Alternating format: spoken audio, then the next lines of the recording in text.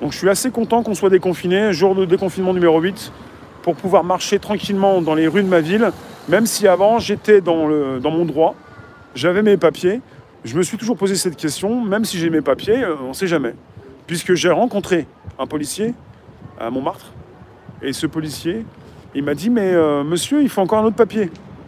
Je lui ai dit, mais le papier que j'ai, je l'ai téléchargé sur le site du ministère de l'Intérieur. Et il m'a dit, bah non, il faut un autre papier. Alors après, je lui ai dit, bah voilà, j'ai rempli tout ce qu'il fallait.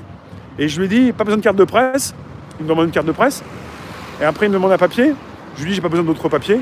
Et après, il m'a dit, c'est bon. Vous voyez, vous, vous voyez pourquoi vous pouvez vous poser des questions.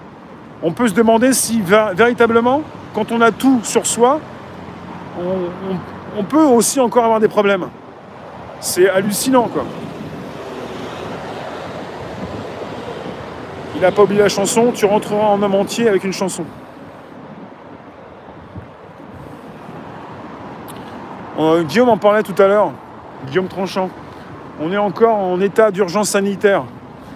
Et peut-être qu'il faut que j'aille voir un petit peu euh, les contours de cet état d'urgence. C'est important de penser, parce que des fois on l'a oublié, on est en état d'urgence sanitaire. Moi je pensais pas marcher, je marche un petit peu quand même. J'essaie de trouver des bancs, j'en trouve pas. J'essaie de trouver du silence, il n'y en a plus. On est en déconfinement, il y a beaucoup de bruit dans les rues de ma ville et j'en peux plus.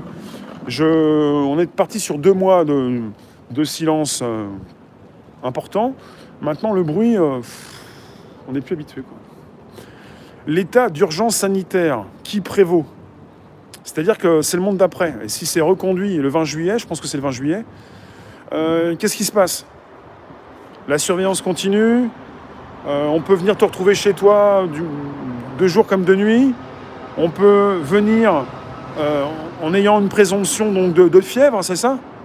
Vous avez en Californie des types qui frappent aux portes, aux États-Unis, côte ouest, et qui vont chercher des personnes et qui les attrapent et qui viennent les interpeller parce qu'ils euh, sont présumés euh, fiévreux.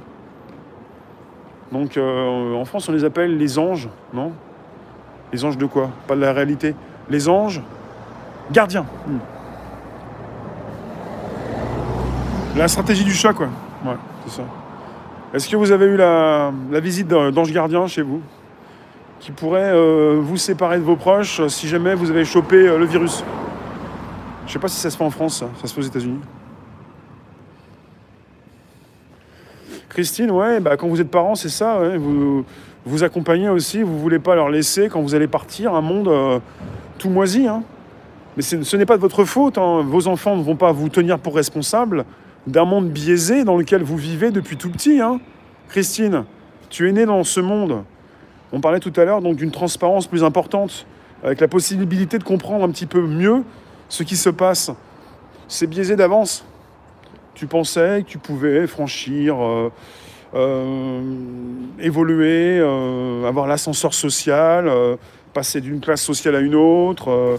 presque tout est inscrit tu vas pouvoir un petit peu évoluer, mais est-ce que tu pourrais faire comme ceux qui le font, qui réussissent fortement, sans, sans, écraser les autres hein euh, va être compliqué quand même. Après, euh, réussir sa vie plutôt que réussir dans la vie, oui. État d'urgence sanitaire, on le constate dans les magasins, masque distance, pas agréable. Ils auraient donné aux policiers la responsabilité de définir eux-mêmes les procédures. Très louche. On évoque le Mossad. Dans quoi on évoque le Mossad?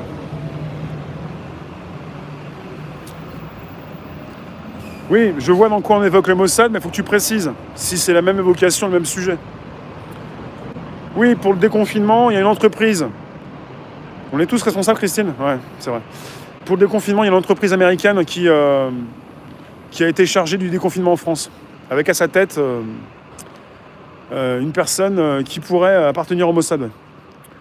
Ça va, Sherazade On Vous avez le gouvernement français qui euh, a laissé euh, le déconfinement euh, au service d'une entreprise américaine. Apparemment. Parce que pour être sûr de tout, mais logiquement oui, puisque c'est quelque chose qui est affiché. différentes sources sont disponibles. Pas d'ange gardien en Belgique? Comment ça Vous n'êtes pas protégé en Belgique? Bah, Dis donc alors. Mais que se passe-t-il? Ah bon? Euh, Oui.